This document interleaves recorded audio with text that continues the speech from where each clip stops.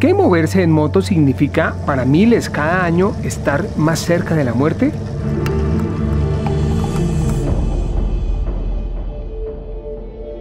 Lo dicen las estadísticas, los dramas por cuenta de los accidentes y las madres que se quedan esperando en una ventana. Y yo esperé y esperé que llegara y empecé a marcarle. Y ya se iba a correos. Una llamada que no entró, un hijo que no regresó esa noche a la casa y miles de dramas particulares cada año en Colombia. Él es Uber Torres, mecánico. Las motos están entre su lista de lo más amado, pero una tarde todo cambió para él.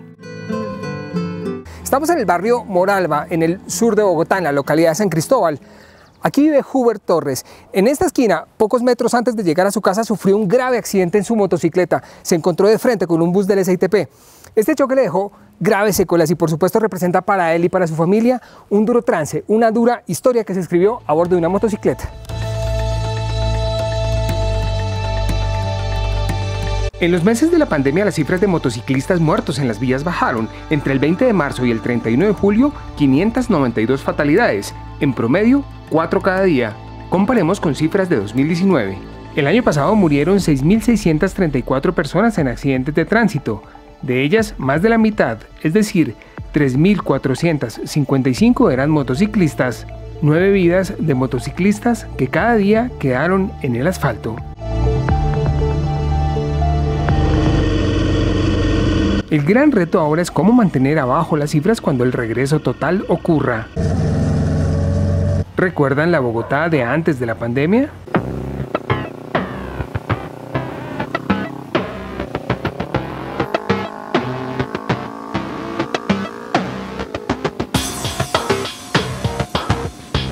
Estas imágenes son de días antes del confinamiento. Están entre esos carriles para muchos es jugarse la vida. Y eso fue lo que le ocurrió a Over Torres, el joven amante de las motocicletas.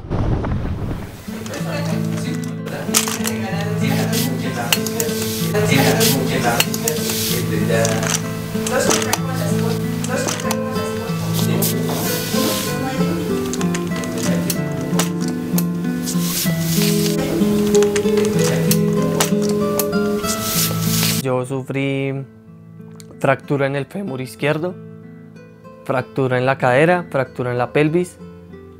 Eh, se me fracturaron cinco costillas. Su recuperación fue tan lenta como los pasos en caminador en los pasillos de su casa. Mi mamá, mi papá, em, todos estuvieron ahí. Perdón. Tranquilo. Todos estuvieron ahí muy pendientes. Y pues que salga un doctor y le diga a usted, su hijo no tiene ni dos horas de vida. En cualquier momento se va. Entonces, perdón.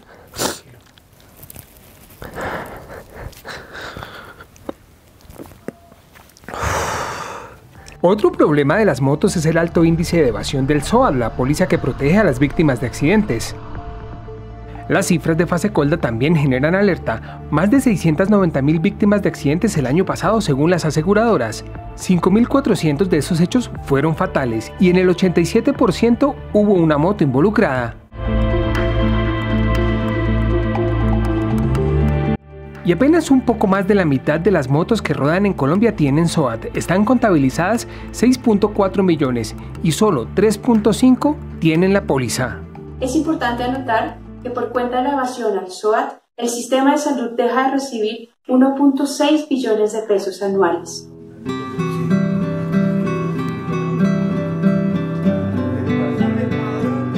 Uber es uno de los motociclistas que salió en la mañana de su casa y al final de la jornada estaba en un hospital.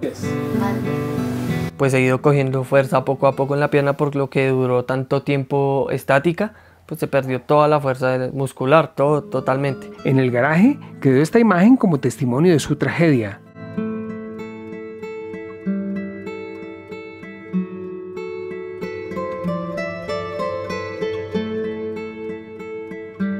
Pero en medio de todo tuvo suerte, vivió para contarlo. Otras familias escribieron historias aún más trágicas y dolorosas que la suya.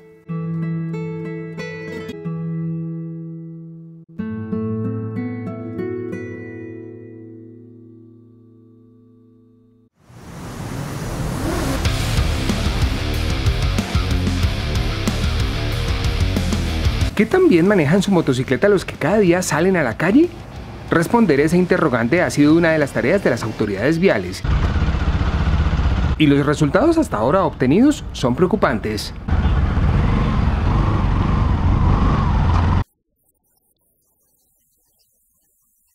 Cada mañana en esta calle del sur de Bogotá, decenas de instructores y aprendices coinciden en descubrir cómo controlar una motocicleta. 15 horas de práctica para obtener la licencia de conducción. Jesús Montoya y Geraldine Sánchez son profesor y alumna.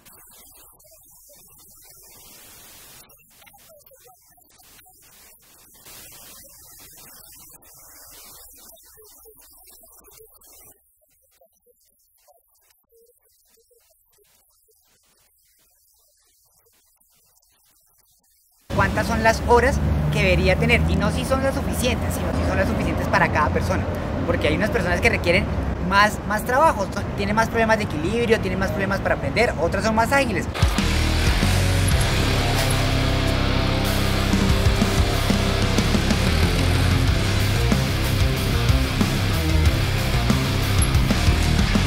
Así son los puestos de análisis de la Agencia Nacional de Seguridad Vial. Este es el único que han podido hacer este año, días antes de la pandemia. Simplemente es algo práctico, luego pasarán a ser una parte teórica. Las imágenes y también los resultados permanecían inéditos. La pista tiene tres secciones, ¿vale? Los conductores debían superar una prueba de baja velocidad para medir su equilibrio y su reacción de frenado. Tenemos que circular entre la franja que está delimitada por los conos que están tumbados en el piso. Las habilidades definitivas en los trancones de las ciudades. Luego de eso nos vamos por la derecha y vamos a hacer slalom. ¿Qué no podemos hacer? Apoyar los pies. Aceleramos, llegamos a segunda y en la parte final es la parte donde vamos a ver capacidad de frenado.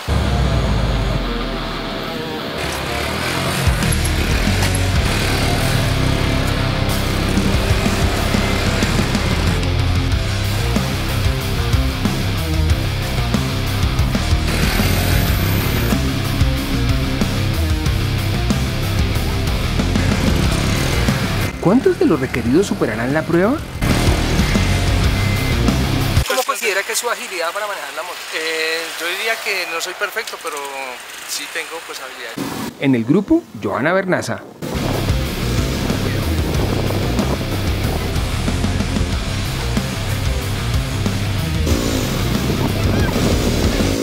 La verdad no pasaste la prueba según lo que te dijeron y andas en moto. ¿Qué piensas pues de haber no, superado la prueba? No, qué vergüenza. ¿Te sientes en peligro en la vida de pronto con la pericia que tú tienes? Mm, la verdad, no, y es que yo no ando por trayectos tan largos. Pero Joana no fue la única. Solo en este ejercicio de 36 conductores requeridos, 31 no pasaron la prueba práctica. 12 no pasaron la prueba teórica. 7 reprobaron las dos, la teórica y la práctica. Y solo 2 aprobaron la prueba teórica y práctica. Atención a este dato. Solo dos de 36 pasaron las dos pruebas, teórica y práctica. Falta de dominio de la motocicleta y falencias en el frenado de la misma. Muchas cosas que hacer. No es solamente que los, que los conductores de motocicleta manejen mejor, es que haya una, un mayor dominio de la motocicleta en general, pero también que los demás actores respetemos al motociclista. Pero por más que ellos se especialicen al final del día, no es suficiente con que sean expertos pilotos y cumplan las reglas. Dependerán de lo que los especialistas llaman todos los actores viales.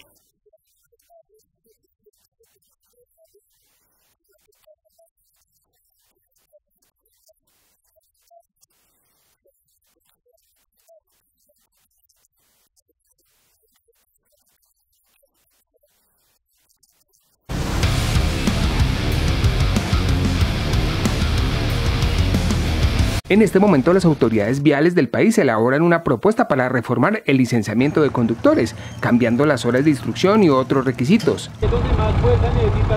Se tiene previsto que el trámite inicie curso en el Congreso de la República en 2021. Pasará el virus y veremos.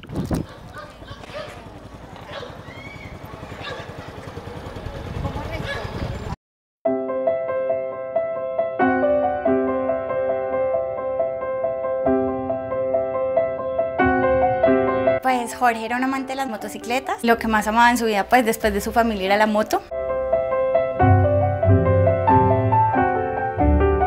Este es el cuarto al que nunca regresó Jorge Teodosiadis. Su familia, como el que se empeña en mantener intacto un recuerdo, nunca movió nada de su sitio. El dinero que dejó al lado del televisor, la foto de carnet que tenía lista y la colección de motos que atesoraba.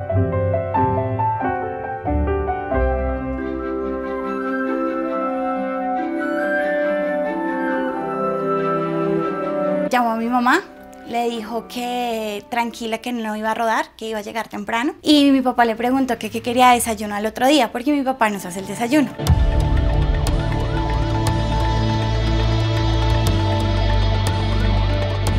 Pero fue el desayuno que nunca se preparó porque el hijo y el hermano jamás volvió. Muy duro. No, mi hermano era todo. Mi hermano era mi héroe. Yo soy mayor pero él era el que siempre estaba con nosotros, el que nos cuidaba. Él era el hombre de las tres.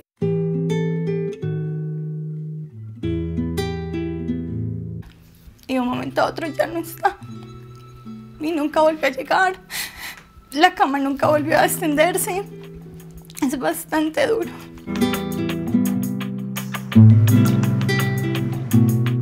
Jorge protagonizó la paradoja del motociclista. Era piloto experto de moto, pero un día la muerte se puso en su camino. Iba en la vía a la calera y un ebrio al volante invadió su carril.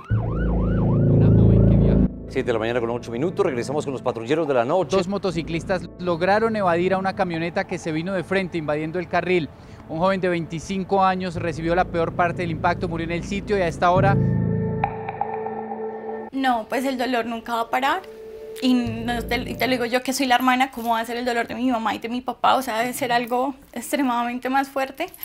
Eso nunca va a cambiar, o sea, nunca, eso, pero pues hay que tratar de mitigar, la vida igual no se acaba, sigue, pero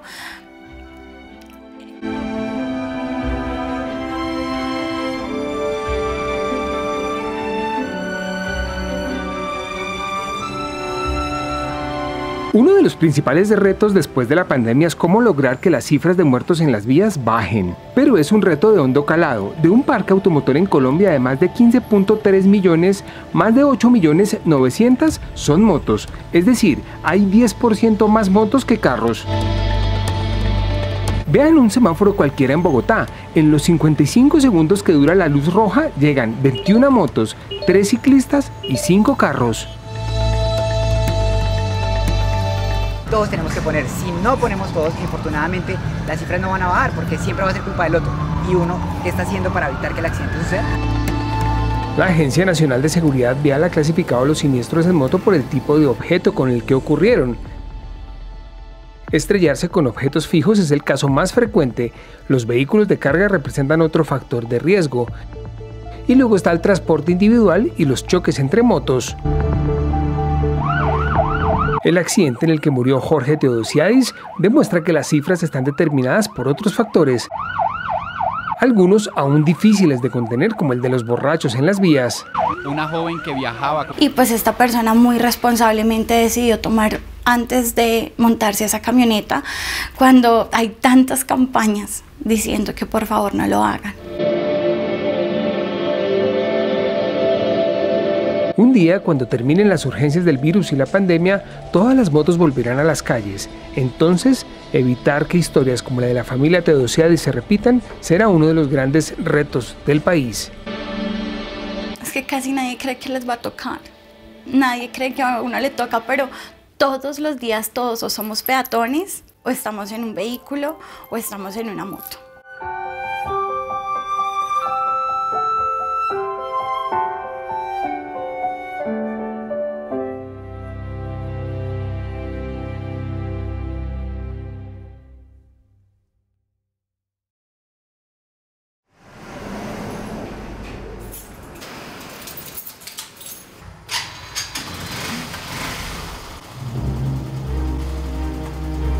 Ser instructor de conducción de motos es algo así como alguien que debe predicar y aplicar.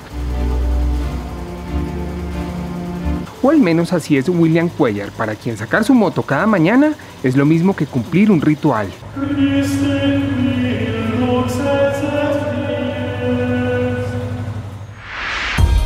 Es profesor en una de las academias del barrio Restrepo de Bogotá y aunque la pandemia puso en problemas a su gremio, él no para de enseñar, ni siquiera cuando va en la vía.